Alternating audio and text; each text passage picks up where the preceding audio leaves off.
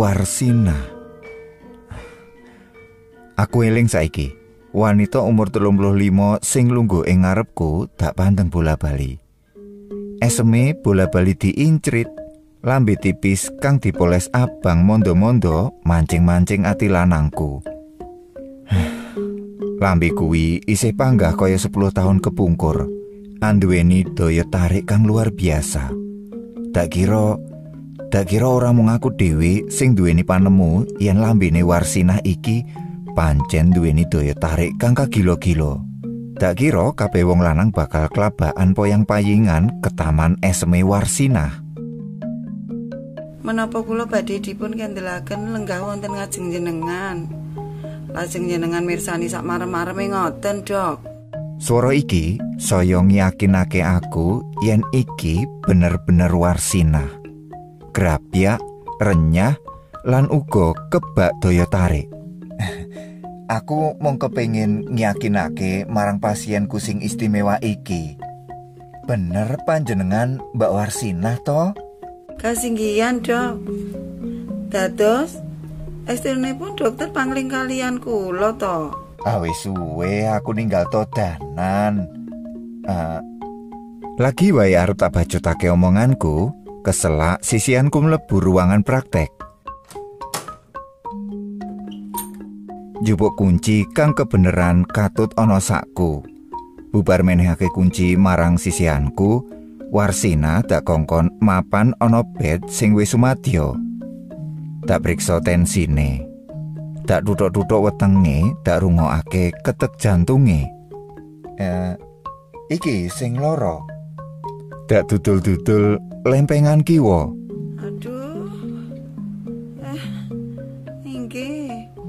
Aku banjur ngeramu cairan obat kanggo nginjeksi. Sawise tak injeksi, banjur tak gawani pil kanggo penyakite. Pinten, Dok? Sepisan meneh aku mandeng warsina. Banjur aku gedek. Kula sungkan lho, Dok.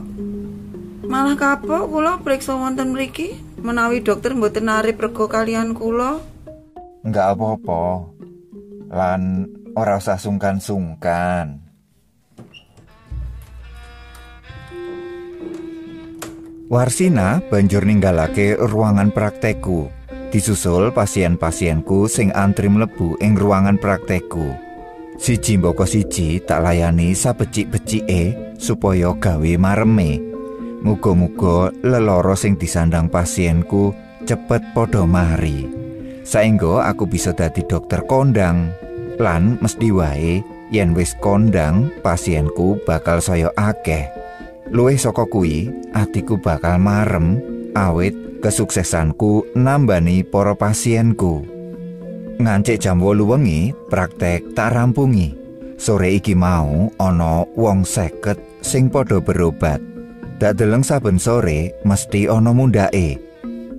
Nalika lagi anyaran manggon ing daerah kene limang sasi kepungkur, sawise ngalami pindahan bola bali, mung ana wong limo sing mara nyang panggonanku.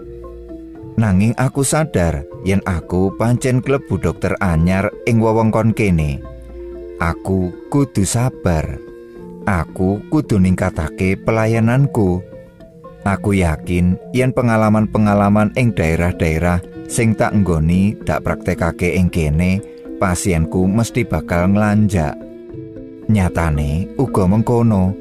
saben sore mesti ana tambahi ora ketang siji loro nalika aku ringkes-ringkes alat-alat dumadaan kelingan warsina hmm, wong wadon kuwi manis grapyak nanging uga galak sepisanan aku kenal dheweke nalika aku isih tugas ana puskesmas todanan nalika kuwi dheweke mresakake putrane digawa nyanggonanku mung kaping pindho putrane wis waras.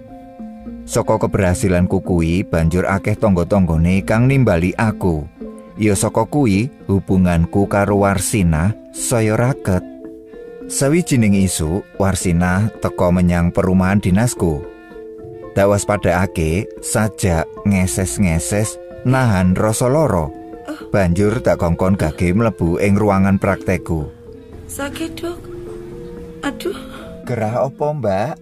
Bon. Krungu wangsulane, atiku dadi deg-degan. Bon. Hah. Kamangka sing jenenge Bon kuwi manggone ing perangan sing gawat kliwat-liwat. Hmm. Ewa semono kanggo yakinake aku banjur ndeleng kaya ngapa wujude Bon. Roke Warsina dak kongkon nyingkap. Sakala panonku kemepyur, dodo bleguduk kaya umup. Aku lali yen kuwi pasienku sing kudu tak layani sak becik-becike. Apa meneh aku lagi kasepen amarga sisianku uga dines ing liya panggonan. Sakala meh wae aku ngrudo peksa Warsinah pasienku. Untung Warsinah najan sing katone wadon geleman kah cihna omongane sing seneng nyaut-nyaut lan glecak-glece nanging tetelo imane kuat. Aku dijongkrokake, dheweke ngadeg mencereng. Jenengan sampun nerak sumpah dokter. Kula saged nglapuraken tumindake panjenengan ingkang kurang ajar menika dhateng atasan jenengan. Sakala marasku ciut. Aku ngewel krungu pangancame. Mbok menawa Warsina bisa nyawang praenku kang pucet bleret. Jan ketanggur temenan. Isinku wis ora ilok-ilok. Wis, Mbak, wis, Mbak. Tak suwun ora salah lapur-lapuran yo. Aku aku nyuwun pangapura. Pisan iki wae. Ya, pisan wae aku kapok. Kapok tenan, Mbak. Tak rimo bola bali, akhirnya Warsina gelem ngapura tumindakku. Waton, aku gelem janji, ora bakal ndugal kaya kuwi mau. Dina-dina sebanjure, aku wis ora wani sembrono babar pisan karo para pasienku. Pengalaman pahit kuwi ora bakal tak baleni. Hubunganku karo Warsina bali rumaket kaya sadurunge ana kedadian kuwi. Sajake Warsinah kuwi gampang menehi pangapura lan gampang lalekake kedadian sing kudune nuwuhake dendam. Lan sing paling tak senengi, sikepe marang aku bali biasa-biasa meneh. Arang lho wong wadon sing wis tau ketaton atine gegem sifat kaya kuwi. Eman, bareng aku pindah, dheweke ora tak kabari. Jalaran aku ora sempet. Wusono wewayangane Warsina saya suwe saya ilang digondol angin. Aku wis ora tau mbayangake Warsina. Mula sore kuwi mau, aku ya pangling sawise puluhan tahun ora kepethuk. Telung dino candake, Warsinah moro meneh menyang panggonanku. Lagi njangkahake sikile ngidak ruangan praktek, Warsinah wis mesa-mesem. Aku go nimbangi mesem. Dheweke lungguh ing kursi ngarepku sing pancen wis tak sediake. Piye, Mbak? Sampun sudo kok, Dok. Namung kontrol mawon. Kaya biasane, Warsina njur tak kongkon menyang bed sing wis sumadyo. Dheweke turun njur tak priksa. Saka papriksan iki pancen wis ana kemajuan kesehatane. Nalika aku nutuk-nutuk wetenge, dheweke meringas-meringis. Eh, nggih, mriku, Dok. Menawi kumat ten ngriku nyeri sanget. Badan lemes. Lajeng keringet brol-brolan.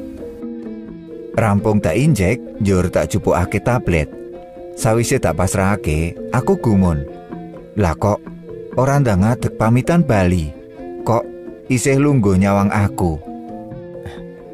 Arep piye meneh, Mbak? Aku takon. Wartina rogo-rogo dompete. Nuli ngulungake kertas marang aku. Aku ndomblong. Layang. Op opo dheweke ke ke Nuwun sewu. Kula ngrepoti, Pak Dokter. ng- ngrepoti. Panjenengan wau srumiyin. Kepingin enggal ngerti isine layang saka Warsina, banjur layang tak beber. Eh, tulisane yo apik jebule. Tembung boko tembung tak waca siji-siji. Bareng aku wis rampung, tak pandeng Warsina sing manis iki. Ora utang lho yo. Iki tak aturi sithik. Seket wae yo. Ora usah dibalekake. Amit, Pak. Dadosaken repot. Lah, ora apa-apa. Angger kok, Mbak. Sawise tak wadahake duit ing amplop, duit kuwi njur tak pasrahake Warsina. Banjur nuli pamitan. Bubar dawene duit kuwi, Warsina ora tau ngetok. Apa wis mari lorone kae? Kok terus ora kontrol meneh? Yo, muga-muga mari temenan. Yen pancen mengkono, mesti aku saya kondang. Wong-wong padha ngalem aku kadidene dokter Kang Mandi. Pasienku bakal saya ngumbruk-ngumbruk kaya daerah kang lagi wae tak tinggal. Enam sasi candake, Warsina teko meneh. Pisan iki kepeksa oleh giliran mburi dhewe. Awe tekone ya mburi dhewe. Kahanane isih ajek. Eseme tansah dudut-dudut ati. Omongane kepenak neng kuping. Ah, wis, pokoke nyenengake kae. Lah kok wis suwe ora tau kontrol? Apa wis mari tenanan? Sampun, Dok. Banjur tak kongkon mapan ana bed sing wis sumadya. Nanging dheweke gedek. Eh, kula mboten ajeng priksa. Lho, lah arep piye? Badhe nyuwun tulung dokter. Menapa kepareng? Atiku tambuh-tambuh. Dak pandeng warsinah tanpa kedep. Ayen aku bisa, aku yo gelem. Kula ajeng ngampil arto. Eh, bapakipun lari-lari ajeng ujian modin.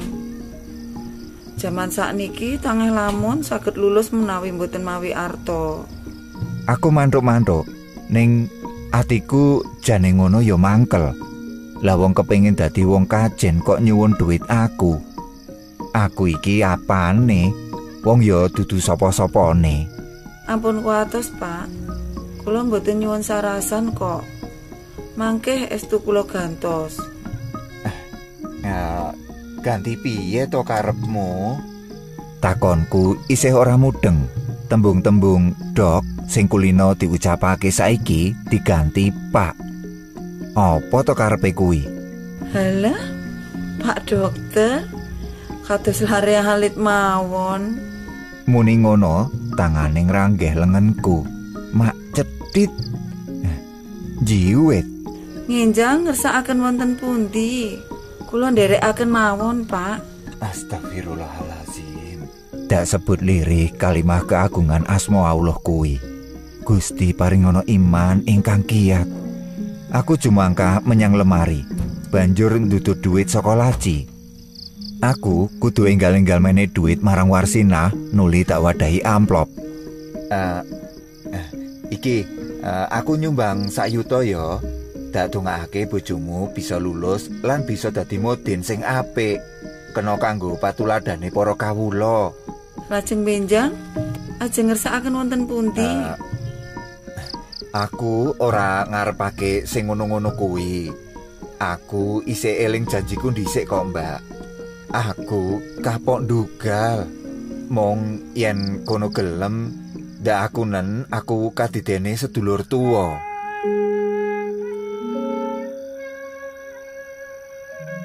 Warsinah mlongo, banjur let sedelo, dheweke perembik-perembik, luwe mrentul wiwit notos. Kula ngaturaken panuwun ingkang tanpa kinira. Eh, eh, eh, neng kene aja nangis kaya ngono to. Engko konangan ibumu sida dadi gawe. Upami sedaya kaum Adam kados panjenengan kula pitados donya menika mboten enten wanita palanyahan. Ya, upama kabeh wanita ing donya kuwi kaya kono zaman 10 tahun kepungkur, tak kira ora ana wong lanang sing menggak-menggok. Dak untapake Warsina tekan ngarep lawang. Sepisan meneh tak sebut kalimah keagungane Allah. Aku bisa ngindari pambujuke iblis.